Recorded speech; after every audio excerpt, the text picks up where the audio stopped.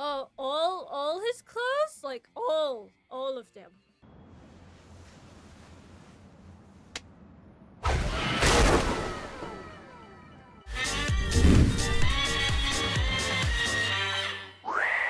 Oh hey Teresa, you know that feeling you get deep in your seventh seventh stomach?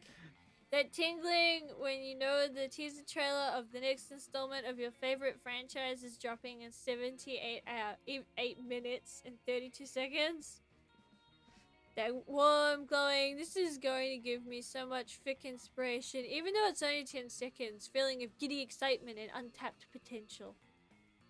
Wow, that's how I feel about Banana. Yes! Much like a teaser trailer, I feel like there's so much I need to know. How how do I know Banana Boy is really the monster for me? Help me out here. Picture this scenario, okay? So I'm out on an epic adventure with Banana Boy, right? And after escaping a near-death situation, we stumble wearily, sweatily, exhausted to get some well-earned rest at the nearest inn. We're greeted by a gruff, rude keeper, innkeeper with the most beautiful butt ever. but before I can fantasize about marrying the innkeeper's butt, he gives us the keys to our rooms. But whoops, there's only one key and only one room, the only one left. Which means that through this unlikely series series of events, Banana Boy and I will be forced to share a bed.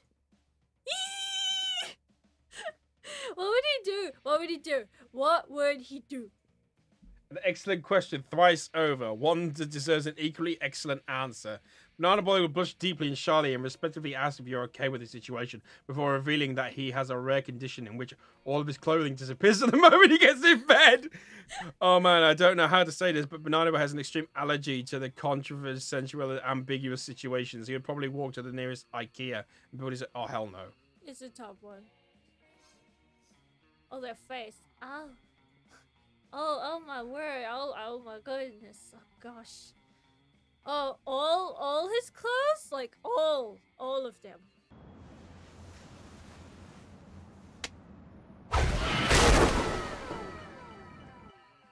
And he, he would blush first.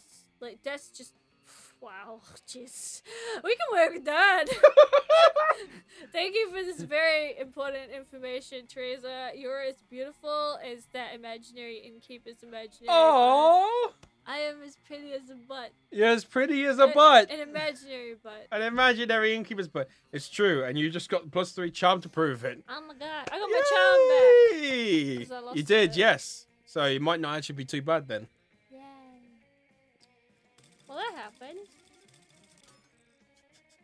You sided. She's basically me, but I love it. It's great. All right, banana boy. Okay, what do we do? Um, hmm, I would like. I'd like some money, but I don't know how to get it. neither. Oh, you can also go to the library.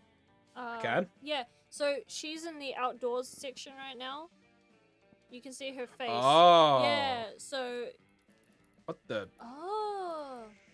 That day you spend time in the library PCs mining some bitcoins. This is supposed to have something to do with solving algorithms and the rise of uh, cryptocurrency. But you guess that nobody actually has an idea how it works. Anyway, you gain plus two bitcoins, which is equal to plus two million dollars, which unfortunately is equal to two dollars, two monster dollars. You get plus two money. Damn it! So that's how you do it. Oh, hey, Banana Boy! I didn't expect to see you here. Don't you love uh, how at Spooky High we have so many friends, and you never know who's gonna show up to. Oh gosh. Here's the plan for today, girls. Ah, it's the coven! Joy, hope, and faith. You, you know our names. Of course, it's so cool to see you guys. Say, say the thing. Say the thing. Oh my gosh, it's literally me. It really is. You need to cosplay as her. What thing? The thing! The thing! You know, you know the thing! Say it! Say it! Say the thing! Oh! God! She's beautiful. We're here to save the world. Trapped in a totem? Remember that? you guys were all like, "Don't you underestimate what you brought from that shop? Your totem is a god, ruler of the dark realms, an agent, an agent of destruction. We must dispose of the totem before the world suffers." Yeah, sorry about that. No, are you kidding? That was awesome. And then someone stepped in and succeeded or failed at something. And I don't really remember. I went and lived through so many events, and then things in my life, it's hard to keep them straight. But the point is, I'm all fine now. Like, we're on the same team, and I totally ready to join the coven. Whoa, whoa, well. Don't get us wrong. It's nice to someone appreciate how hard we ke- we work to keep the world safe instead of trying to belittle us slash sabotage us. But you can't just. Well, well, well. Oh, Look who it is. We meet again. who's this hunk? Dimitri. Oh, it's Dimitri! Oh, oh my god, my ears. My ears are bleeding. Who are you? What are you? Why are you? Gosh. I'm I'm I'm a totem. I mean, I was a totem. I was a high school girl. Um, I no, I I'm a high school girl. Sorry, I just oh my gosh. So listen, I know most people are all about that Dimitri life, uh, where they assume that the reason you often turn to the good side before bad again is because of your deep forbidden love for joy. Never! Joy means nothing to me.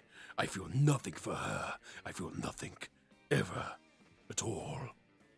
A beautiful manly tear trickles down Dimitri's face as he stares into the distance. right. Yeah, totally. But um I've always been rooting for Homitri. Just as like you're getting together with Hope, but like Ho Mitri. From from my fanfic where you were forced to work in a brothel. I'm here for one reason, and one reason only. To take from the coven their cursed bloodstone. I take no pleasure from seeing their smiling faces, and I will take no sorrow in seeing their corpses. One of them's not even smiling. Ah, fine. Okay, Coven. How are we gonna defeat him? You're not in the coven, Zoe! But at that point, everything around Dimitri has caught fire somehow, and the deadly glow lights up the dark with a but very sexy smile.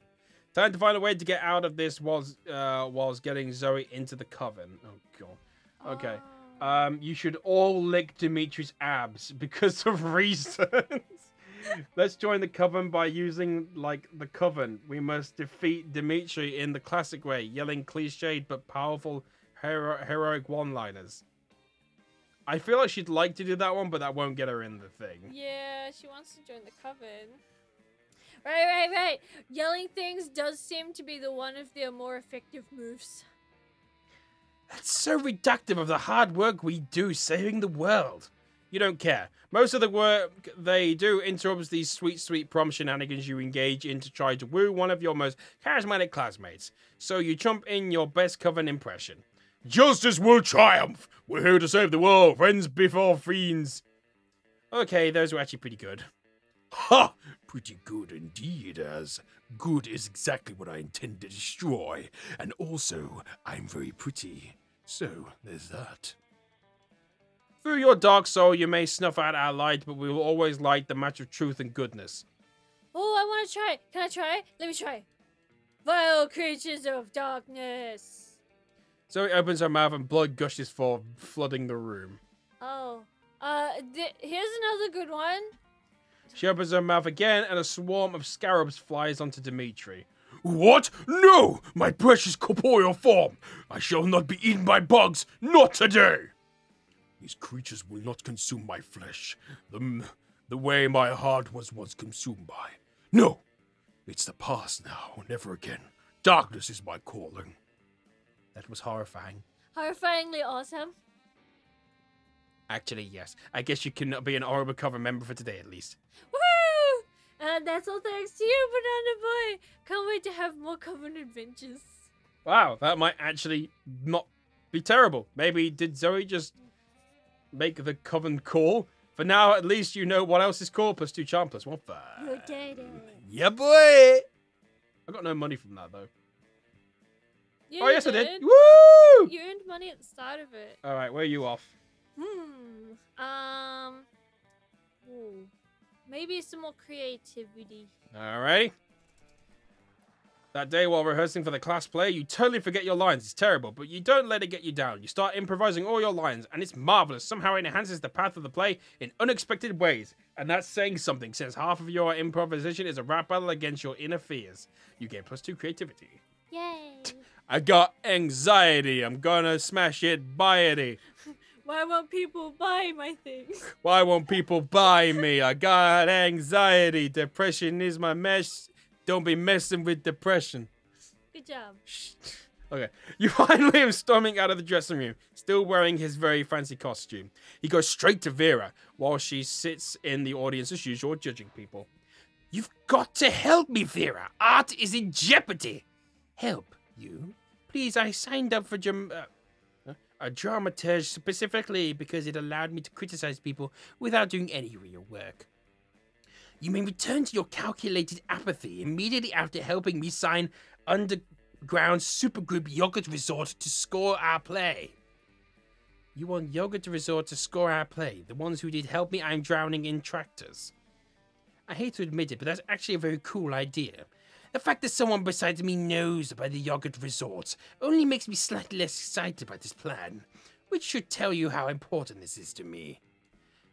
How are you going to pay for that, though?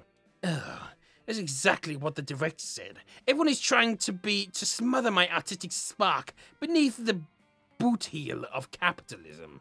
It appears that I must make some concessions to the invisible hand of the market if I am to realize my dream.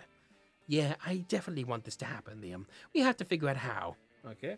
Have a bake sale, but with cocaine instead of baked goods. Oh. Tell them we're all orphans and that this is a charity event. I I don't see them going for the bottom one because he wouldn't want to be considered an orphan. Neither would she. Yeah, She but wouldn't- I don't. He's not about money. Yeah. He li- he just said he's not about money. So getting it as a charity thing might be something. And she's all about business and earning Oh money. no, she's all about not having to do any work for, for, for free money. So yeah, it's probably it's the charity one. Well, if there's one thing I've learned being an orphan, is that people will give you all kinds of things for free out of sheer pity. You're actually an orphan? Wow, I feel so ashamed. Yes, I'm very offended. And that the only thing that can make it better is a tray of cupcakes and a solid gold ingot. Okay, all right, I'll go ahead. Wait, wait a second. See, works every time. You're some kind of evil genius. I'll draft a press release. Once word gets out, of Spooky High School is full of orphans. You get all kinds of free stuff. Being an orphan rocks. Wow. You get plus two boldness, plus one money. Wow. Oh, you did it. I know, but it was the correct answer. That's what I mean. You did it. Did it! Yay! Go me! All right.